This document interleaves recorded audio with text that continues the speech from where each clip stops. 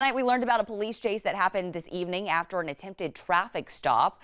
According to the St. George Police Department, uh, police attempted to pull over a driver on Highway 7, uh, Highway 15 rather, when the driver refused to stop.